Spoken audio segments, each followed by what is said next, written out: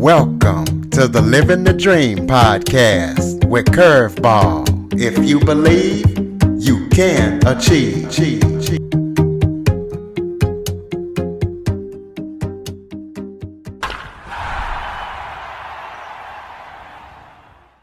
Welcome to the Living the Dream with Curveball podcast, a show where I interview guests that teach, motivate, and inspire. Today, I am joined by podcast host and radio journalist Julie Rose. Julie has worked for companies like SiriusXM and NPR, but you know, she didn't like how, you know, the news was just so crazy, and we all know that. So she decided to start her Top of Mind podcast, and she just told me in the green room that she just launched another one, and they're still talking about uncomfortable stuff, but they're doing it in more of a respectful and better way. So, Julie, thank you so much for joining me today. It is my pleasure. That was a great introduction. You pretty much nailed it. well, why don't you start off by telling everybody about yourself in your own words? All right. Well, um, I have been a radio journalist for 20 years. And I started off doing public radio reporting. So I was working for NPR, National Public Radio stations in Salt Lake City and in North Carolina, reporting on all the big news of the day, uh, you know, political and social and education and business. And I loved it. It was really honestly my my dream job. About 10 years ago, um, I I felt like I was sort of at the you know, I'm like, this is it. Like, I found the thing I love to do, and it's to be a news reporter for radio. Um, and right around that time, uh, kind of unexpectedly, my parents back home in Utah started to need some more help. And I always knew that time would come, but I didn't know it would come as quickly as it did. so I uh, I made the decision to leave that dream career behind and come back to Utah to be able to help my parents. And uh, I'm so glad that I did be able to have that chance, the time to be with them. They have both since passed away. Um, but that that was a real it was a wonderful opportunity and a blessing and the upside of that was that as i came back to utah byu radio was just beginning uh, a, a live daily radio 24 hours of original content broadcast on Sirius XM satellite radio, and they needed some people to do some stuff. so I came on board and started hosting a daily live radio show. If you can imagine having a having two hours worth of live interviews. So I would do six interviews every show. We would do that five days a week, every afternoon. And did that for seven years. So I spoke with more than 10,000 people on the radio, most of them live radio interviews about everything under the sun, all the news and information and what people were talking about, and really trying to have calm, thoughtful, informative conversations. Um, and the truth is, just like you alluded to in your introduction of me, I I was burned out. Eh, by the end of that, I I was over the news, like so much over the news that I, you know, I, I'd spend I'd come out on Friday and I would like intentionally avoid all access. No, I didn't want to look at the news. I didn't want to listen to it. I didn't want to hear anything about it. I didn't want to read it. And I would sort of be in my little bubble. And then I begrudgingly go back to work on Monday and have to like dig in again. And I was constantly looking forward to the next opportunity to avoid the news. And it was in that experience that I realized I found out actually that a lot of us are like that. 40% of Americans actively avoid the news all the time, or at least some of the time. And I thought, well, does it have to be that way? I mean, I'm a journalist. Could, I figure out a way to engage with the news? And could I figure out a way to have, like, what is it that's making me not want to engage with the news? And could we create a podcast that would help people want to want to at least engage with these tough topics or have a way to engage with important issues that wouldn't leave me feeling depressed and anxious and angry and uh, and and confrontational, which is what the news felt like it was doing to me. Um, so that's where we created Top of Mind, which is the podcast I've been doing for the last couple of years, where we take one topic each week, and it's an important topic, a tough topic, whether it's immigration or re- uh, race relations or uh, you know family, gender roles in the home, all kinds of things we talk about, uh, and we look for perspectives that are going to help us feel empathy and see that it's nuanced and challenge our own views a little bit and feel a little uncomfortable even in the course of the episode because we're taking the time to listen and engage with perspectives that maybe we haven't heard before or that we disagree with. And we're not trying to convince you to change your mind. We don't take a side on any issue. I just want everyone who listens to have that uncomfortable moment where they hear something that they don't agree with. And then you choose to keep listening and get to a place where you've got more empathy, more clarity, and hopefully feel a little bit more empowered. So that's what we've been up to for the last uh, last couple of years. That's what I've been up to. Me and my team. I say we. Um, and I've learned so much in the process of this, of really trying to tackle this this challenge that so many of us face, where we want to understand, we want to engage with important topics, but it's just so hard to figure out how to do that and not not just feel depressed and anxious all the time, you know? Yes, I do know. So tell the listeners how, how, how you how you broke into radio journalism and podcasting. How I broke Ah, how I got into it. All right. Well, uh, so I actually um, I was a, I was working in public relations and I was working in fundraising for a nonprofit, um, the American Diabetes Association. Gosh, this was like 25 years ago at this point, and um, I I had just become infatuated with uh, radio, radio journalism, radio storytelling. Um, this was in the late 90s, early 2000s. And I was a poor recent college graduate and I didn't have TV or cable. And so my entertainment was listening to storytelling and talk shows on the radio. And I was like, ah, this, I mean, I was so obsessed with it that I thought, I wonder if I could do that because that seems like an amazing job. So I you know, through a friend of a friend, uh, made a contact at the local community public radio station, a really tiny one in Salt Lake City, and just you know i bought some gear online. This was in the early it was like pre ebay i bought I, bought a mini disc recorder. I don't know how far you go back into the radio um, world curtis but this was like before mp3 recording and digital recorders. There were these mini disc recorders.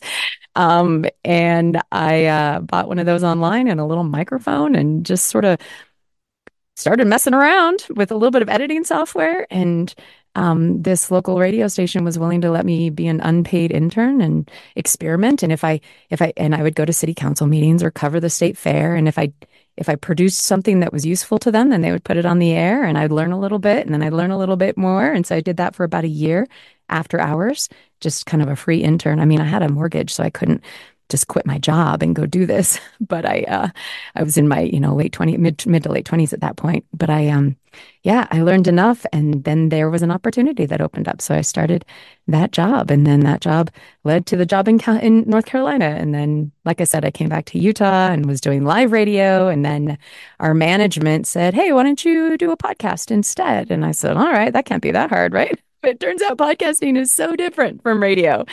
And it's also really challenging in some different ways.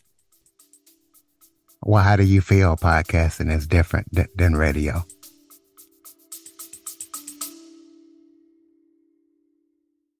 Okay, everybody, it's Michael E. Cullen II. And I'm Sesame and Carta from the All Too Real 2 podcast. We're passionate about movies, TV, and pretty much all things pop culture. Dive into the chaos of failed sitcoms, direct to video sequels, and the quirky realms of cinema and TV. Join us every Thursday for your dose of All Too Real 2 entertainment. We'll guide you through debates like whether Howard the Duck qualifies as a superhero. Ponder if Larry the Cable Guy could be the new Rock or Schwarzenegger. Discover if some shows and movies should have stayed in the cutting room. Ever heard of a sitcom featuring that dictator with the funny mustache? Well, we watched it. We're dedicated to unraveling the peculiarities of pop culture, sometimes with awesome guests. So, if you're into the eccentric world of pop culture, listen and subscribe to All Too Real 2. Available wherever you find podcasts and on Age of Radio.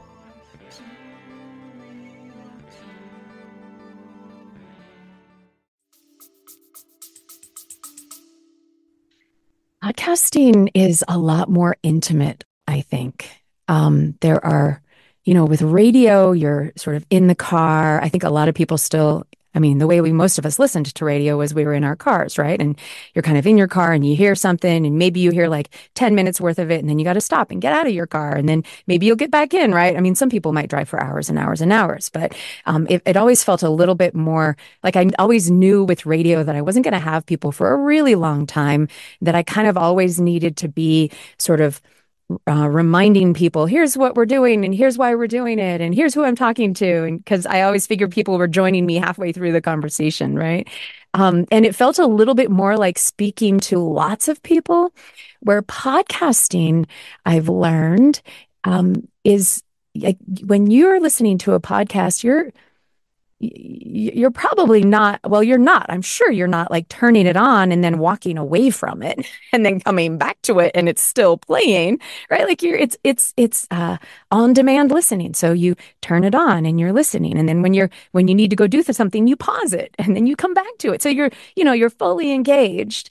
Um and so it's a much more sort of comprehensive listening. I had the opportunity to tell to really talk about complex issues in a in a way where I know people are sort of leaning in to listen rather than kind of leaning back and let having me keep them company, you know?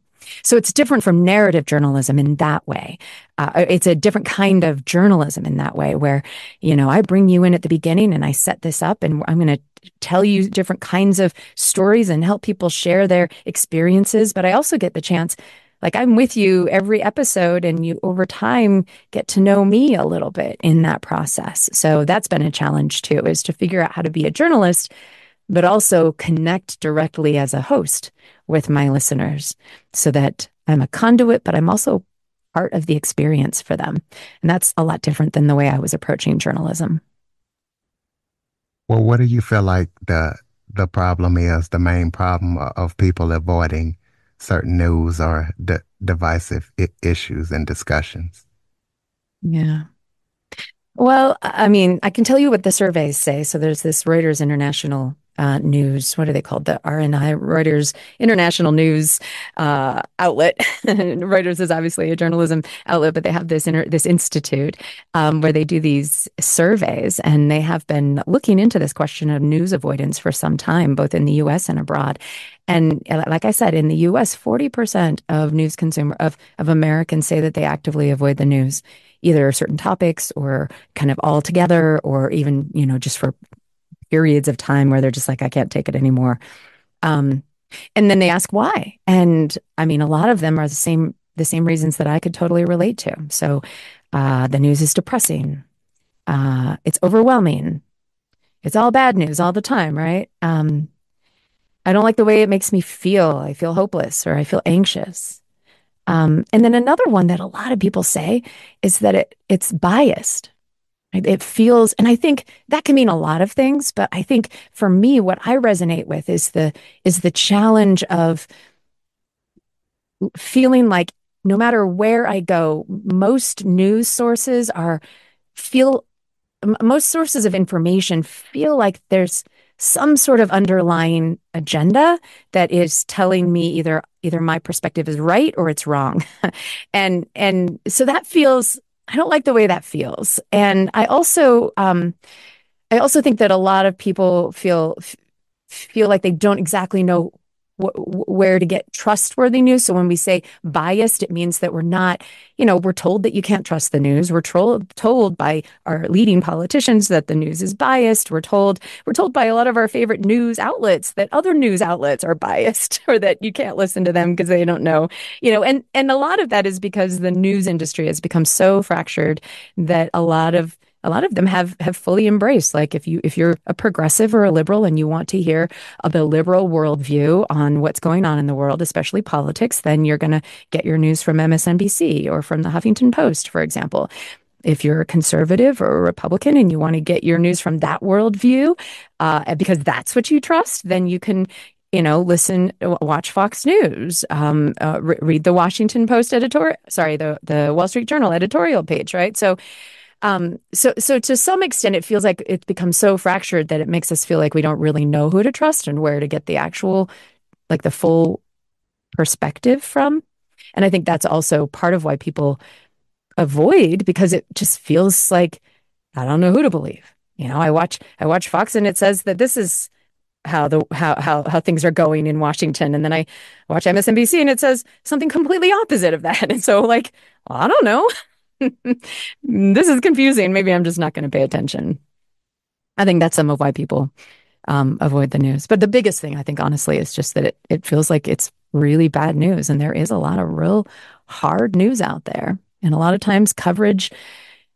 You know, news is intended it's hard to make money in uh, in journalism these days, and a lot of it ha- right now has turned into sort of what's going to get the most clicks. And the fact is that what gets the most clicks is the stuff that makes you feel the biggest feelings, and especially the biggest angry or scared feelings. And so, yeah, I, mean, I will frankly admit that journalism has a bias for making you feel big things and uh and oftentimes that's bad news it's not as exciting you don't get as many clicks when you're telling a more nuanced story where there aren't clear good guys and bad guys and where you know there's things are rough but there's also people who are trying to make a difference in the world right the good news stuff doesn't doesn't do as well as the bad news well, let's let's say you have somebody that you disagree with. What, mm-hmm. why would you even bother talking to that person when neither one of you are, are going to change your views, even though you disagree? Isn't that a, it's, it's it's a great question. It's one that I I ask uh, I ask people a lot on on my show, and in fact, on this new podcast that we just launched, it's it's specifically trying to answer that question. It's called Uncomfy, and the whole notion is that we're talking with people about a time when they encountered a perspective or a situation a perspective that they really disagreed with or maybe it was a situation where they really they felt really outside of their comfort zone and they chose to stay uncomfortable, to stay open, to stay curious, to not shut the conversation down, to not immediately get defensive and start arguing. And then we find out why. Like, what was the point? Um, and a lot of times they'll say, and here, here's the thing here's what I've learned. So, because yes, in most cases, both parties are not going to change their mind, right? So let's say it's something that I feel very, very strongly about. Um, and I know that I'm speaking with someone who sees it in exactly the opposite way. Um, really, what like if if if the if the goal of the conversation is for is to try to convince the other person to come onto your side and change their mind, then there really is no point to having that conversation. Just don't, because it'll just be an argument. I mean, maybe maybe it'll feel good to you to like sort of argue. Maybe you like that kind of thing. Personally, I don't. So so I'll avoid it in that case. Which is why, honestly, Curtis, I have spent a lot of my life avoiding conversations about things that I feel strongly about with people who also feel strongly because I don't I don't want to argue about it. And I don't see any other option. Like that's what I've believed for so long. And it's only been quite recently through a lot of research and through really kind of engaging with these tough topics in my podcasts that I've learned out that there's another way. I mean, you can actually have a conversation with someone who really disagrees on a topic with you and learn something. I can, I, I, I, can, let me give you an example. Is that okay? So recently I had a, um, I did an episode of my podcast where we were talking. I, I, there was a part of the interview was about cultural appropriation. All right. So this notion of, uh, you know, like when is it okay to, or when is it not okay to, um, uh, I don't know, uh, to adopt the cultural practices of someone of, of a different culture that's not your own, to to speak in a way that is, uh, you know, to to do a dance that's associated with another culture, or to wear the clothing that's associated with another race or culture. When is it okay? Uh, and and you know, and and and is it is it just uh, I, am just appreciating, or am I actually appropriating and causing harm in some way by by adopting that cultural practice, whatever it is clothing, the way we talk, a certain kind of music, you know, whatever. So, so, so we were exploring this question because it comes up a lot on social media, right? Like somebody's like, "How dare you wear that kind of dress to your junior prom when you're not, you know, a member of that culture? That's cultural appropriation, and then you should get, get canceled or whatever." You see all this kind of stuff on on any level. Um, so we did this episode, and I learned some things about eh, when is it harmful, and maybe when is does it not really matter. And so I thought it was really thought provoking. Provoking, and I had a close friend reach out to me on text, um, who feels who is who has more conservative views than I do, although we're both probably more conservative than most people in the world, but um, or at least than a lot of other Americans. But he knows that I'm a little bit more liberal than he is on the on the the spectrum, and he sent me a message after that episode aired, and he was like, "That was a stupid episode. I don't know why you would bother to talk about that. I think that cultural appropriation it's like over policed, and that most of the time people, you know, generally speaking, people are just making it all up, and you know, it's it's ridiculous, and you shouldn't give air time to it. I mean, he was kind of, and I felt initially sort of threatened by that. And I was like, well, I clearly have different views, but I don't, what's the point of having this conversation? It feels to me like he's trying to, trying to just provoke me, right? So my initial re- response reaction when I got that message from him, this text was, I'm just going to ignore this. I felt like I wanted to be defensive and defend myself for having had the interview on the podcast. And then I was like, ah, he's just trying to push my buttons. I'm just going to pretend I never saw this and ignore it. And then I had this moment where I thought, well, hang on a second. I wonder if I could learn something here. Learn something about a perspective I disagree with. Maybe just learn something about this person that I care about, who's a friend of mine. Um, all right, so maybe I can have the conversation. My whole goal here, I'm not going to try to convince him to see things my way. I'm just going to ask questions to try to better understand where he's coming from. Uh, and I'm going to try to avoid turning this into any argument. And I'm really going to focus. Like, this is the key, right? I had to go into that with this mindset of I'm not here to convince, I'm not here to debate. I'm going to just turn on my curiosity and let it burn bright. And I'm not going to focus on the issue. I'm going to try to ask questions that aren't so much about the merits of, you know, uh, cultural appropriation or being concerned about it. Like, we're not going to talk about that topic so much. All of my efforts are going to be to try to understand why he feels so strongly about this. What is it that has led him to feel so strongly?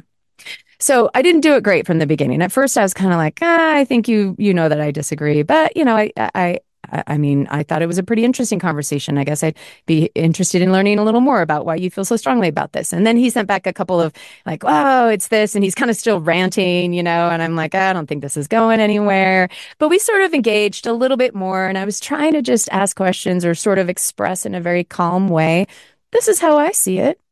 And then he would be like, no, I see it this way, this way. And I'm like, okay, well, this is how I see it.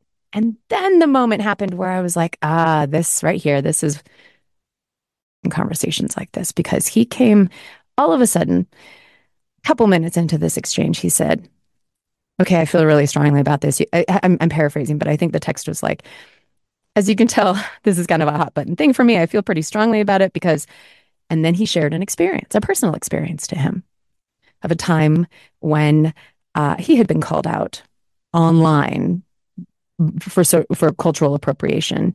And it was really hurtful to him and he felt like it was unwarranted.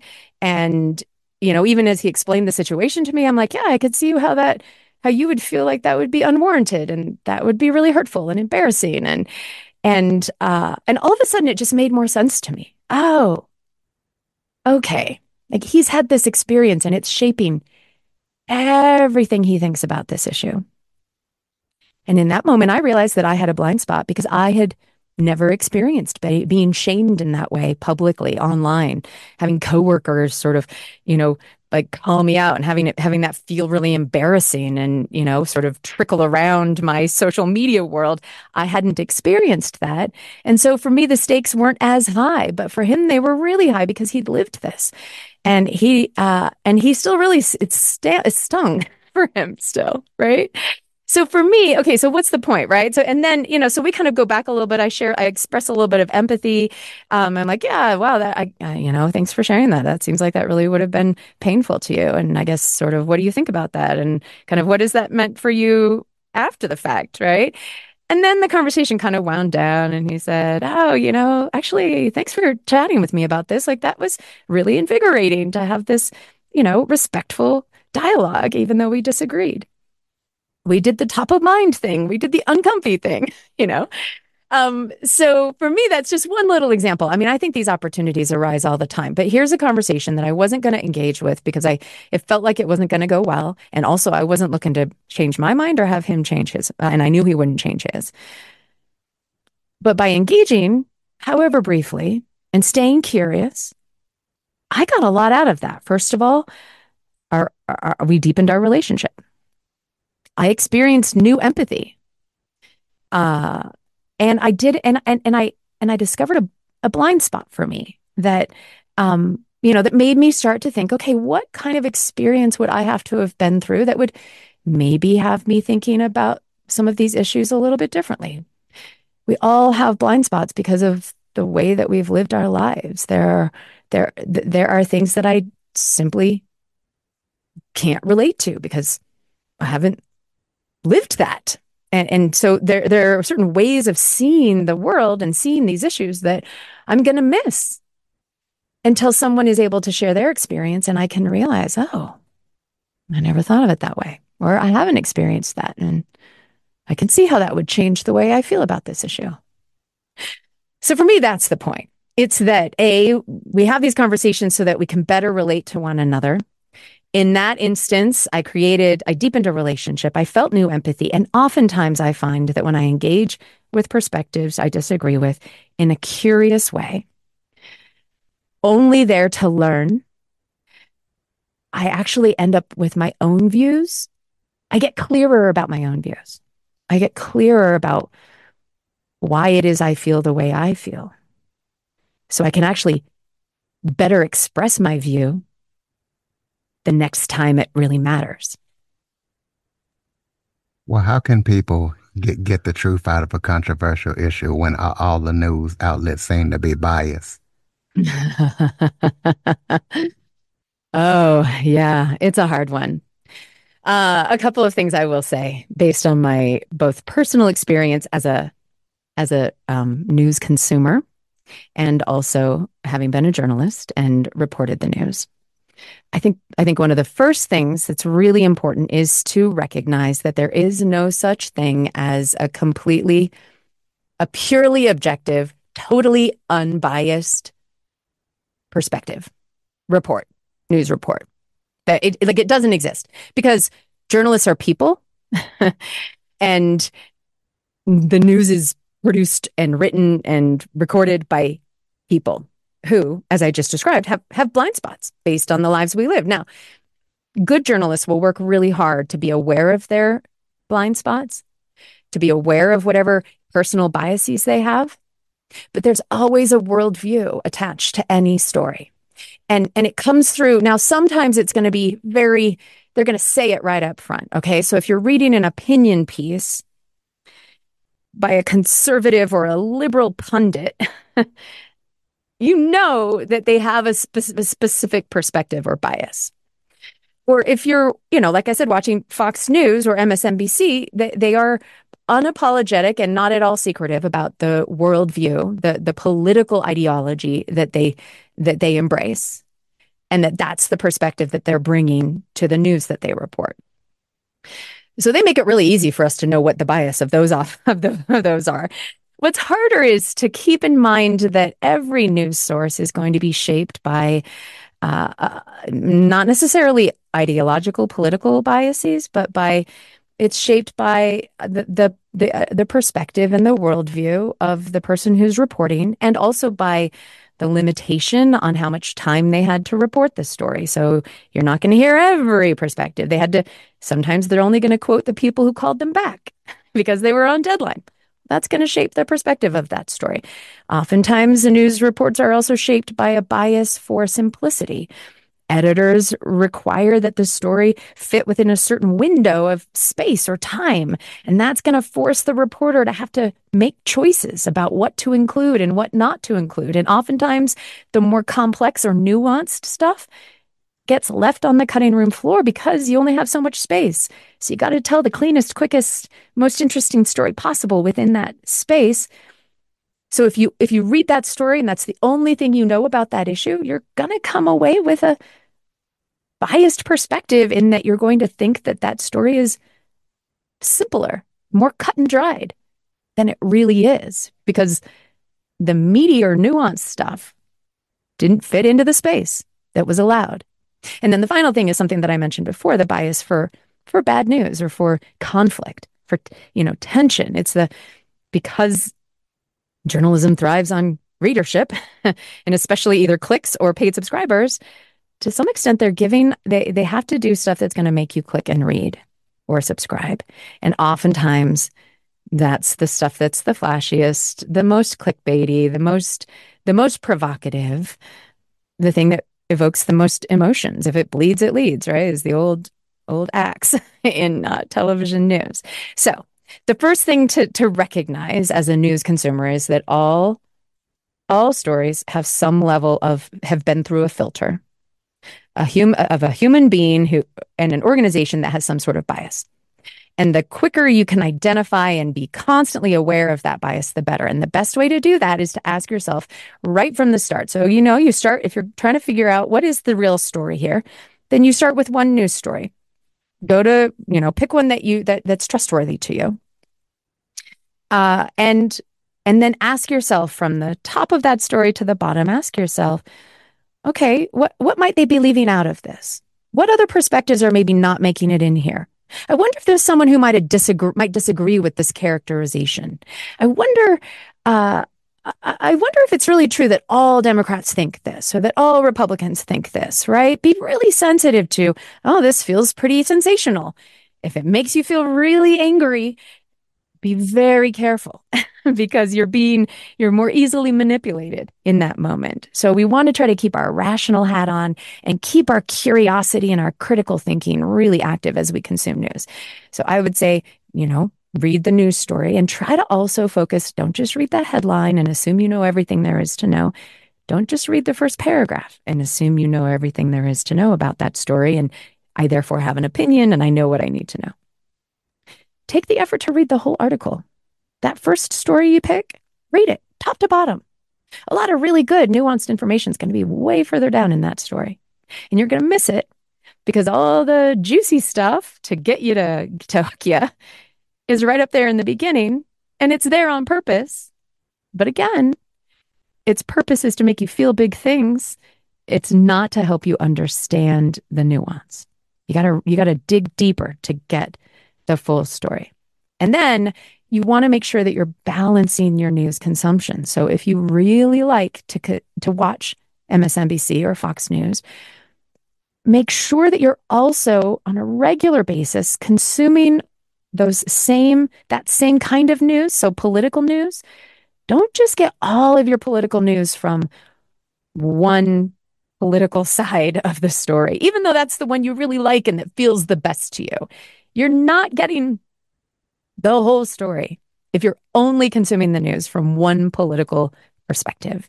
So notice how the big news story of the day it's fascinating to you know okay well here's this thing that this thing that just happened in washington all right? The nato summit happened a couple of days ago right? Or uh, so as we're recording this it was yesterday. So all right well here's what fox news is saying about the nato summit and president biden and here's what msnbc is say, saying about that exact same thing oh interesting that they're focusing on different stuff they're quoting different people they're using different words for President Biden's speech and for the way things were uh, received. There, you will notice that they are going to focus on very different things because of their bias, and then say, okay, what else could I find out there? Let me go find a newspaper. You know, maybe my local paper. Uh, if it's a national issue, then you're going to go. You're going to want to find uh, a national reputable outlet uh, that has a newsroom that makes corrections on a regular basis so that's also really important that it that acknowledges when they get it wrong and that they tell you right there on the pages of the paper or the website when they've made mistakes and they make that easily available. That's another sign that that's a that's a reputable news source that they recognize that they have some biases that they're gonna get it wrong, and they and and they acknowledge it. You want that because that is that lets you know that it's going to be more trustworthy that you can trust these th- this reporting. So I like the Washington Post or the New York Times or maybe the Boston Globe or the LA Times, whatever it is. Look for a big national paper, the New York Times, the Wall Street Journal, depending on what you're looking at. Consume your news from a variety of sources to try to piece together for yourself. The reality is that being a news consumer is hard work. in this day and age. So tell us And about um, yeah. so go tell ahead. us about any upcoming projects that you're working on that people need to know about. Yeah, well, absolutely. Thanks for the opportunity. So, so one thing I will say is that Top of Mind, the podcast I've been doing for a couple of years, is one way to try to get a range of perspectives on a top issue, uh, all in one place. so, so if you you know, it's a it's an easy way each episode to spend an hour and know that I've done the work, my team has done the work to get all of that material together for you um, on some of the big issues that are going on in the world. And the other thing that I'm really excited about is that we've just launched a companion podcast that's called Uncomfy. I mentioned it a moment ago. And this is a really fun uh, video podcast. You can watch it on YouTube or Spotify. Just look for Uncomfy, sticking with moments that challenge us. That's our sub subtitle. And and that kind of tells you everything there is to know about it. It's a it's people coming on the show and telling us about one time when they did the uncomfortable thing. They they chose to stay curious and open, maybe a little humble in a moment where they were challenged either by the situation or by by the information, they disagreed. And they stuck with it. They they stayed uncomfortable uh, if, for even just a little bit. We talk about how they did it, um, what it felt like, and why they're glad they did. It's a it's an it's a way, hopefully, for people to see the many opportunities that we have in our daily lives to to get better at at having hard conversations and also just being comfortable with a little discomfort because that's where the growth happens. That's where the connection happens, and that's really what it's going to take for us to bridge divides and overcome some of the fear and the polarization that is so prevalent in our society today. So it's called Uncomfy sticking with moments that challenge us. I hope people love it. Well, throw out your contact info so people can keep up with everything that you're up to. Absolutely. So you can find uncomfy.podcast is out on, uh, you know, that's on our social media. You can find it on YouTube, on any podcast app. Just look for Uncomfy, sticking with moments that challenge us. My other podcast, the topical podcast where we dig into tough topics, is called Top of Mind with Julie Rose. And we're on all the social media platforms, Top of Mind Pod. All my contact information is going to be on all those platforms as well. So I'm Julie Rose, and I love hearing from listeners things that they want us to tackle, stories that they'd like to share on the podcast. Love to have that interaction. Absolutely, ladies and gentlemen. So check out those two podcasts Uncomfy and Top of Mind. Check out everything that Julie's up to. Please be sure to follow, rate, review, share this episode to as many people as possible, especially those who want to know how to discuss uncomfortable topics and deal with uh, controversial issues. If you have any guests or suggestion topics, Curtis Jackson 1978 at att.net is the place to send them. Jump on your favorite podcast app, give us a follow and a review. Thank you for listening and supporting the show. And Julie, thank you so much for joining me today. It has been such a pleasure. Thank you so much. For more information on the Living the Dream podcast, visit www.djcurveball.com. Until next time, stay focused living the dream.